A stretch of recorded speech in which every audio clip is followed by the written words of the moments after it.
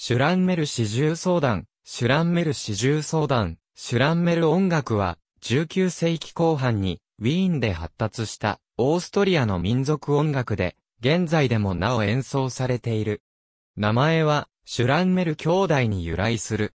バイオリニストであったヨハン・シュランメルとヨーゼフ・シュランメルは、オーストリア北部出身の音楽家兄弟である。父は、クラリネット奏者、母は、名の知られた歌手であり、両親の影響を受けて育った。11歳頃から両親と共にバイオリンを弾いて、料理店や酒場などに出演するようになった。1878年、兄弟は、コントラギター奏者のアントン・シュトロマイヤートアンサンブルを結成した。都会と田舎の両方の影響を受けてきた三人は、民謡、行進曲、ワルツや、ポルカなどの舞曲を、ウィーンのホイリゲや宿屋で演奏し、人気を博した。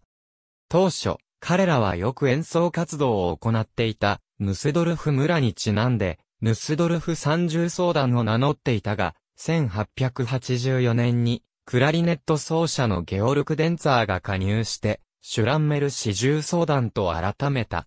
アンサンブルは、宮殿や大邸宅のサロンに招かれて演奏し、シュランメルの陶水は、ウィーンのエリート層を虜にした。その中には、ヨハネス・ブラームスとヨハン・シュトラウス2世もいた。彼らの人気は全ヨーロッパ中に拡大し、1893年には、シカゴ万国博覧会に招待された。音楽に関心を持たなかったと言われる、オーストリア皇帝、フランツ・ヨーゼフ一世でさえ、愛人カタリーナ・シュラットと共に、シュランメル音楽を聴きに行くことを好んだという。シュランメル兄弟の作品は200曲以上に上る。ヨハンは1893年に、ヨーゼフは1895年に死去するが、以後、類似の形態の音楽を、シュランメル音楽と呼ぶようになった。人名に由来する呼び方だったものが、ウィーン風の庶民的な音楽の代名詞のようになっていったのである。また、シュランメル音楽を演奏する多くの人々のことを、シュランメルの複数型で、シュランメルンと総称するようになった。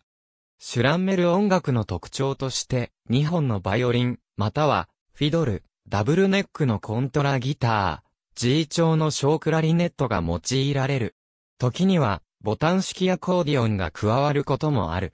曲調はメランコリックな、泣きが特徴で、オーストリア以外にもハンガリー、スロベニア、モラビア、バイエルンの民族音楽の影響を受けている。シュランメル音楽はまた前述のブラームス、シュトラウス2世をはじめとして、アルノルト・シェーンベルクといった、ウィーンの作曲家たちにも愛好された。AB 渡辺 P154 渡辺 P155、ハット AB コーの P195。ありがとうございます。